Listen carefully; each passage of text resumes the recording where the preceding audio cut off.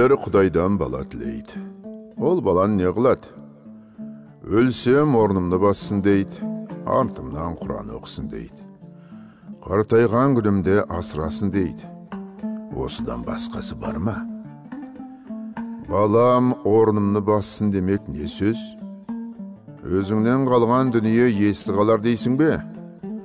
Қалған дүниенің қамын сен жемек пе едің? Өліп бара жатқанда өзгеден қызғанып айтқаның ба? Өзгеге қимайтұғын сенің не қылған артықша орның бар еді? Баланың жақсысы қызық жаманы күйек не түрлі боларын біліп сұрадың? Дүниеде өзіңнің көрген қорлығың аз болды ма? Өзіңнің қылған иттігің аз болды ма?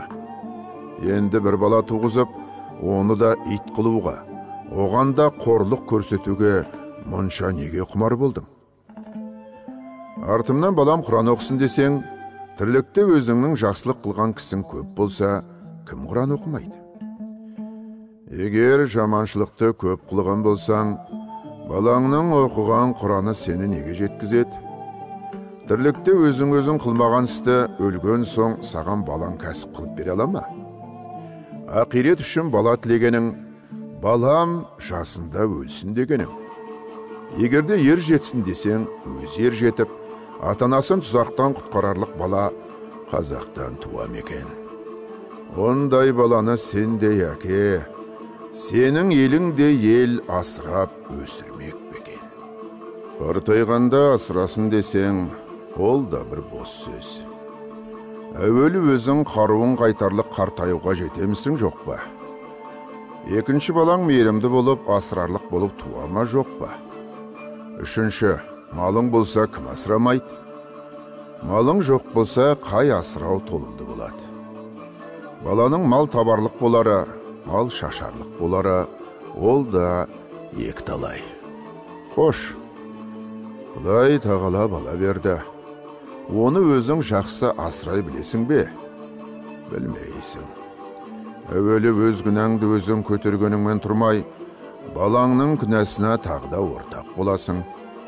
Әуелі балаңды өзің алдайсың әне оны берем міне мұны берем деп басында балаңды алдағаныңа бір мәз боласың соңыра балаң алдамшы болса кімнен көресің боқта деп біреуді боқтатып кәпір қияңқы осыған тимеңдерші деп оны мазаттандырып әбден тентектікке үйретіп қойып сабаққа бергенде молданың ең арзанын іздеп хат таныса болады деп қу сұм бол деп пәленшенің баласы сені сыртыңнан сатып кетеді деп тірі жанға сендірмей жат мінез қылып осыма берген тәлімің осы баладан қайыр күтесің бе және мал тілейсіңдер неге керек қылайын деп тілейсіңдер әуелі құдайдан тілеймісің тілейсің құдай берді бергенін алмайсың. Құдай тағала саған еңбек қылып мал табарлық қуат берді. Ол қуатты адал кәсіп қыларлық орынға жұмсаймысың. Жұмсамайсың. Ол қуатты орын тауып сарып қыларды білерлік ғылым берді. Оны оқымайсың. Ол ғылымды оқыса ұғарлық ақыл берді.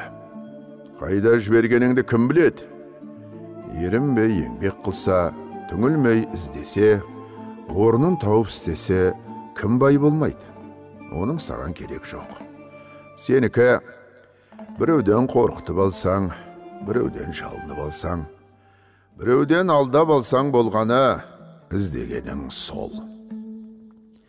Бұл құдайдан тілеген емес бұл абыройын арын сатып адам жаулағандық тіленшілік.